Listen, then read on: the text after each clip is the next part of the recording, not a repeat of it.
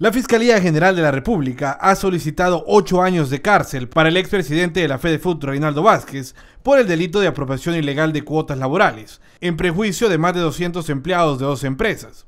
Según la acusación, los hermanos Vázquez, como propietarios de la empresa Mobile Immoblex, retuvieron más de 300 mil dólares de AFP y Seguro Social a sus empleados, pero nunca pasaron estos fondos a las administradoras. Además de eso, se está solicitando que se condene civilmente a depositar las cuotas en las AFP y en el Seguro Social y en, y en el ICFA por la suma que, que ya se estableció mediante una pericia contable. Ha sido dentro del proceso a través de la prueba tanto documental como testimonial, ¿verdad?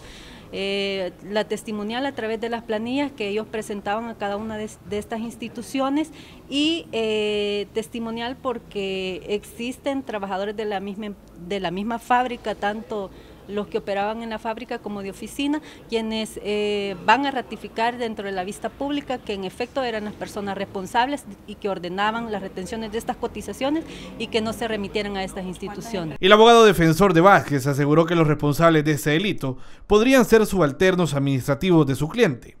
Anteriormente, el imputado había pagado una fianza para poder ser juzgado en libertad. El dice un monto, en el proceso sale otro monto, así que no le puedo dar el monto exacto. Pues. Que él no es responsable, es que en una empresa, una empresa, acuérdese que hay un organigrama laboral, hay pagadores, tesoreros, planilleros, entonces hay que deducir responsabilidades nada más. Recientemente, la Corte Suprema de Justicia autorizó la extradición de Vázquez, quien está siendo requerido por la justicia estadounidense por el caso de la corrupción en FIFA.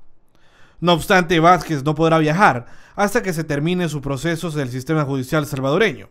Y en caso de una condena, sería la Corte la encargada de determinar si cumple la pena en el país antes de ser extraditado. El ex directivo fue sobreseído recientemente por el delito de estafa por cerca de 195 mil dólares, en el tiempo en el que fue representante legal de una tienda de muebles. Para Informa TVX, Gabriel García.